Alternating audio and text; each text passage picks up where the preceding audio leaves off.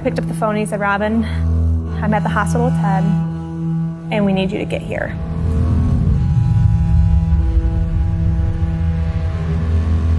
It's humbling more than anything to be vulnerable when you when you're raised to hey don't show weakness you know just as men in our society. Don't show weakness, don't show emotion. Ted had what they believe was a mini stroke while he was at work. Feel like Superman, you feel invincible. When you're taken way down, once again humbled, and you have no control over the, the situation, then you say, okay, here's where I am, I'm vulnerable right now.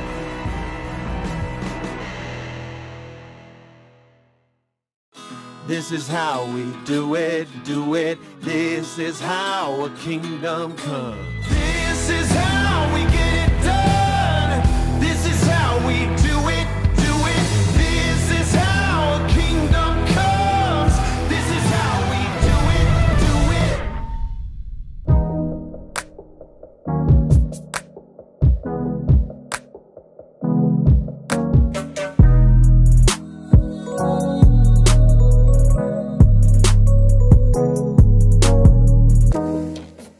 guys, welcome to sunny Los Angeles, California, home to some beautiful mountains, gorgeous beaches, and my good buddy Ted Rath. Ted's the head strength coach for the Los Angeles Rams. Uh, him and I got into the business about the same time. He was a young assistant with the Detroit Lions. I was a young assistant with the Tampa Bay Buccaneers, and we shared a lot of the same goals, a lot of the same mentors and, and philosophy and those types of things. And so super excited to come hang out with him, his staff, his family, and uh, spend a little time watching him work. So sit back and enjoy this episode of Beyond the Chalk. There he What's is. up, man? What's up, brother? Good to see you, brother. man? Good to How see you you. been? Good. Congrats on the great start, man. Appreciate it, man. Appreciate it. How you doing? Good to see you. How's LAX? Never, never adventure. chaotic, huh? An adventure, always. This is awesome, man. This Uh, beats, the, surrounded by- beats the real I world. was gonna huh? say a little bit better than Michigan weather. Not a bad view. Yeah, a little less than Allen Park. We got mountains. we got Malibu 30 minutes away. This is not too shabby. Good, man. I'm excited to watch you work. I appreciate it, man. I'm excited. Show me around. Let's, Let's go, go. see it. Yeah. Let's go. That's right, I'm coming back like OJ, like a running back in his old days. Still rocking those OJs. My paychecks get a little bigger, but that don't change me or make me richer. All right, so this is it. Kind of the home away from home. We got about approximately 6,500 square feet, so not a tiny space. It's great for NFL. For NFL, it's good size, to be honest, and, and the flow is a big open room. I wouldn't ask for anything else. It's not choppy. It is what it is. It's an open space, and that's perfect. That's all we need. We have NordBords here. We'll, we'll utilize the groin bar for specific things, specific positions. We have multiple force plates. We have one in here, and then we have one in the athletic training room. One of my favorite aspects of this room is literally the, the double door that you see going into the athletic training room. So, how we have set this up is incredibly collaborative. We want not just the strength and conditioning, but the sports performance staff as a whole to be on the same page, ticking constantly. We have woodway treadmills, we have everything else that we can need just from an unloaded standpoint. We walk past the Versa climbers. A lot of our off-season conditioning programmed around that, deloading the guys joint-wise, but some of our big guys we can still get real good work. Exactly. Deload them and go from there. Down here is really the main area. I mean, when you look at it, we do have eight eight racks. We can work off both sides. So when we set up everything, we came in, we made sure that we had in, inlaid flooring so that we could utilize the best of the space. Like we talked about, it's a smaller, condensed area, but NFL wise, it's not bad size. But then when you get 50, 60 athletes, NFL size athletes, and here it shrinks fast, as you know. So programming programming wise, we knew we wanted to lay everything out so it was super efficient. We could flow. So everything being in the middle, where we said, okay, we can do three different sections of work right here with the athlete really not having to move too far from the platform or from the rack. So we try to set it up knowing that, and then build everything else around programming so that we could be efficient with the space, but also with the time that we're allotted. Feet through, open up the hips. Good pace. Good pace. Here we go, bringing it back. Skills ready. Minutes ready. Kind of combine strength and conditioning and football. Strength and conditioning is what led me to playing football in high school and seeing the benefits of where I met my wife was on a football field. The home that we afford is because strength and conditioning has allowed me to have a career in this profession. And not only that, but be able to impact athletes and other coaches, fellow coaches that you get to work with. Also being able to be around some of the players where I'll have lifelong relationships with and having my wife know their wives and our children know their children being able to grow up together. And those things are far reaching to where you can't even quantify how much that means to me because it's impacting my family in a positive way. So, in, long story short, it means everything. Woo! Whoa, super dizzy. super dizzy.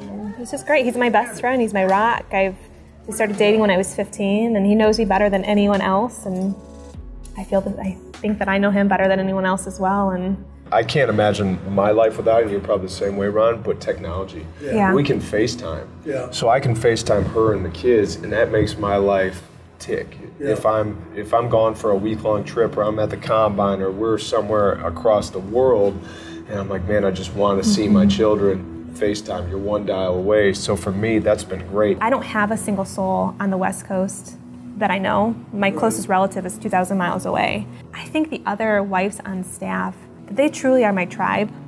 We have such a strong relationship and such a strong bond, and it's such a young staff. Um, and we all have kids around the same age.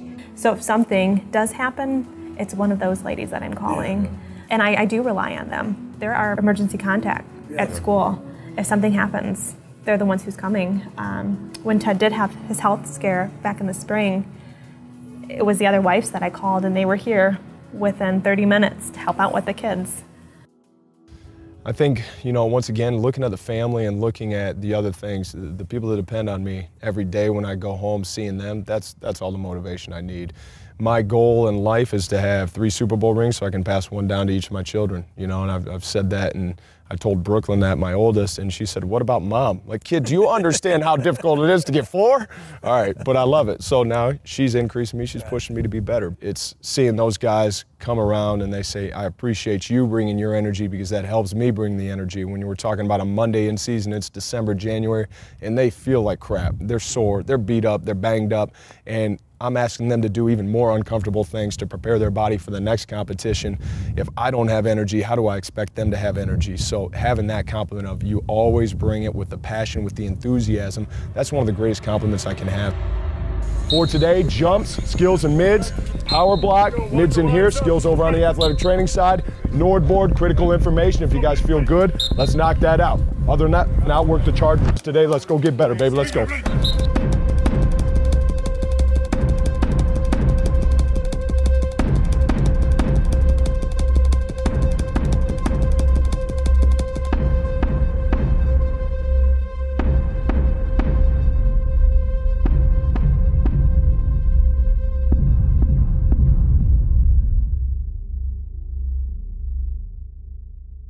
The truest measurement of performance is consistency. So if I can consistently be at that same level each and every day, then I know that eventually that's going to lead to success. When I look at things, I want to make sure that I'm giving them number one the real me so if it's a if it's a situation we're going into a certain game and maybe i didn't do a great job i programmed poorly and i had our skill position players do a hamstring exercise that they shouldn't have i think first and foremost i got to be willing to take that ownership so i think one of the, the four most important words you can say as a leader is i screwed that up so being willing to stand up there and say guys i really messed that up this is 100% on me i need to communicate better i need to do a better job and i will i'll get this fixed and i'll do a better job for you Ted had what they believe was a mini stroke while he was at work. I feel like Superman. You feel invincible, and you know that. It's when you mm-hmm. can't control what's going on, you have no idea. I knew everything that was going on, and I just couldn't verbalize it. I couldn't speak to it. So that, to me, was I knew she was going to be more worried, so I was more concerned with how she was. I'm sitting there, and I know everything that's going on. I know every every question the doctor's asking me, and I'm trying to answer. He says, "What's that on your wrist?" I'm trying to say, "Watch." I can't. I say, "Good, good, good, good." I I got nothing. I can't say anything. Being removed from having control. That's one of those really mm-hmm. frustrating things. So for me you know, it, it was eye opening because I live a very healthy lifestyle. Mm-hmm. I'm not, I have zero risk factors for anything. So the thing, the one thing I took away from it is there's no bias when you're talking about health mm-hmm. issues. There's no, health issues don't discriminate based on age, based on health status, based on anything. And I've refocused a little bit, but honestly, for me, it's been eye opening in the fact that when people are going through things, it maybe you relate to them a little bit better. And hopefully that mm-hmm. helps me help someone else who's going through a tough time somewhere down the line where I can say, hey man, it's going to be okay. Don't worry. Don't think twice. You have no reason to stress out about anything. It's going to be okay. If you need help, we're here for you. We've been through something similar and, and we're here to get you through it. What an awesome day, man. Thanks for coming, Appreciate bro. Everything, Appreciate brother. you, man. Thanks so much. Always, anytime. Yeah, we've, we've known each other a long time, man. It's been just awesome to see how you've maintained, you know, keeping your your faith, your family, your passion, Appreciate it. uh, all the success you had. So I'm fired up for you, man. Thanks, man. Thanks, brother. Appreciate see you, man. bro. Yep. Safe travels, Ron. Take care. Uh, here's a guy that, that has maintained throughout his entire career, uh, keeping faith and family and football in the right order, and um, does an excellent job. Has been successful everywhere he's ever been, uh, but you know ultimately uh, is going to have uh, big wins in his life with his family, with his faith, and um, so excited to hang out with him for the last day or so, and uh, you know just see him work and the impact that he's making on a daily basis. So, if you love these episodes, please like, share, comment. Just continues to help us highlight the great people like Ted Rath we have in this profession. And make sure you check back next time for the next episode of Beyond the Chalk. When you're able to truly look at yourself critically in a mirror and say, I didn't do a good enough job, it's one of the hardest things to do in life. But when you can finally do it, then you can effectively create change. So if I can do that and be honest with myself and say, I didn't do good enough, I need to do better, now I'm going to have the passion and everything on my backside because I know I've screwed up. Now I'm going to get that change for the better. So I think always being willing to admit your mistakes and then taking that step by step approach to make sure that those current actions are matching up with your future goals on a daily basis.